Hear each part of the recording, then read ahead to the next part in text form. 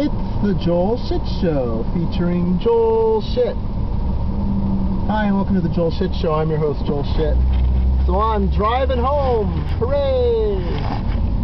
I just went and took a urine test because I, they had to make sure I had urine. No, that's not true at all. Although it is true, I do have urine. I tested positive for urine. My sample had traces of human urine. Yes, just like when Homer wanted to work at the penitentiary.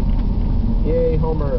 So, I got a job offer. I'm going to be a consumer corporate communications professional at IDT Incorporated starting December 1st. And I accepted the job, and it's wonderful. Contingent of having the job, I had to take a drug test, which means pee in the cup, which is my favorite. I studied all night for it, which is a fancy way of saying I was drinking all night. I wasn't drinking, drinking. I just had a lot of water because I wanted to give them the clearest sample possible so they would think it was fake.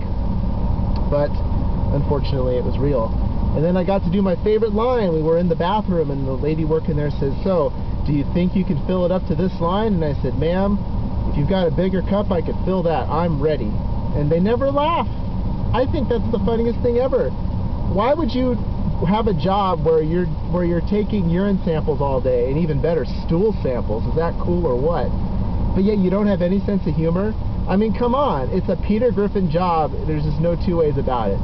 So, I went in, I filled the cup only to the line, and then I had to put the rest in the toilet. It was such a waste.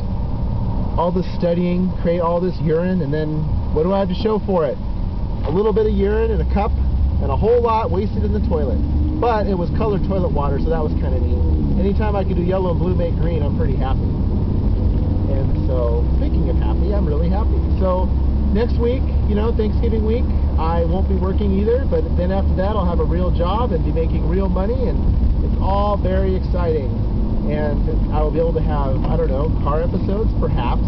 I don't know where my episodes are going to be yet, but there's going to be episodes.